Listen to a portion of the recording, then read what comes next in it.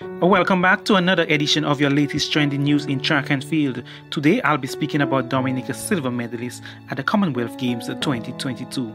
I will also leave a video at the end showing her remarks. And uh, don't forget to hit that subscription button if you haven't done so as yet. Also drop a like and leave a comment in the comment section below. A national record holder in the women's triple jump event, Thea Lafond, secured Dominica's first medal at the 2022 Birmingham Commonwealth Games. Lafond started off with a jump of 14.39 meters in her first attempt to put her in second place at the end of the round one. Meantime, Jam- Jamaica's Shanieka Ricketts smashed the record with her first jump of 14.94 meters. In Lafond's remaining jumps, she was unable to surpass the championship record set by Shanieka Ricketts in the opening round. However, she was able to secure the silver medal position from her first jump of 14.25 meters in the opening round of the finals.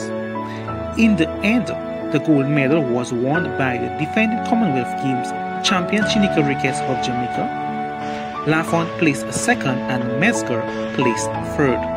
In an interview with sports journalist Garvin Richard, Thea gave her remarks on her journey to capturing the silver medal. She also upgraded from her previous Commonwealth Games where she took bronze medal.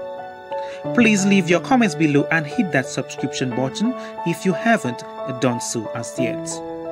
Also click on the notification bell to get notified of when I post the next video. I'll see you next time. Okay, we've got with us uh, the silver medalist at the Commonwealth Games uh, triple jump event, women's triple jump, Thea Lafond. Thea, first of all, congratulations on that silver medal. Thank you so much. Thank you so much.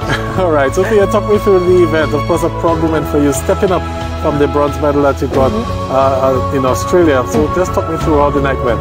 You know, um, the first jump was pretty was pretty solid. Um, I was really looking eager on actually building on it. I thought it was a really good starter jump. Uh, but one thing that uh, caught, I think, all of us by a little bit more of a surprise was the weather. Um, everyone left with numb toes. Um, it was really difficult to kind of maintain our heat um, out there, even with the puffer jackets and, and extra layers. But I do think that, you know, towards the end I got a better groove in.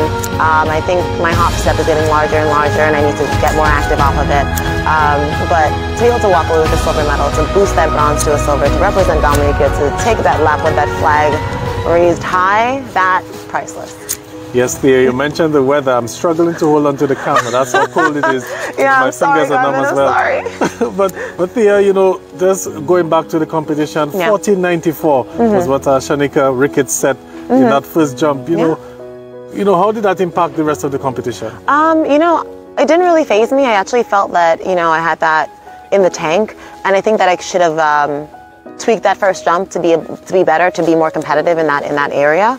Um, it's just really hard to continuously be competitive when your body's you know getting colder and colder, um, like as we speak. um, um, but you know, I, it doesn't really phase me. I, I do think I have those big jumps in me, and they are coming. Um, and the trick is to get them out earlier, especially when the weather is not in your favor.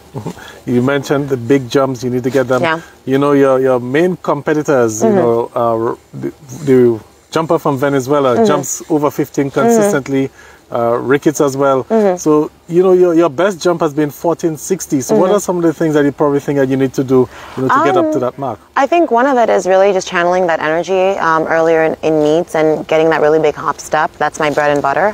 Um, my first two phases are massive and just really just capitalizing on that. Because you know I've seen the fouls that are over 15. I've seen you know the film. I, we know the numbers. We know I'm in shape, um, and I think it's really just about executing. And I, I have a few more meets left in the season. I look forward to doing that.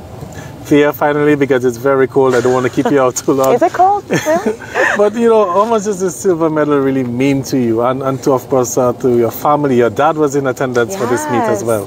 Yes. Um, you know, I think it's really special because not only do I get to represent Dominica, but this time I actually had, um, you know, my father in the crowd who flew over from the States to see me. Um, and I think it's massive because, you know, so much of what I do is because of support, um, not only from the Olympic Committee, um, but also from my family.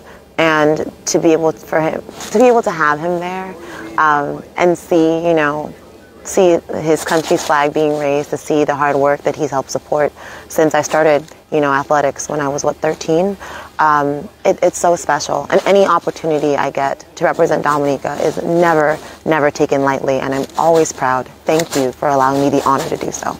All right. Thank you very much Thea Lafond once again congratulations. Thank you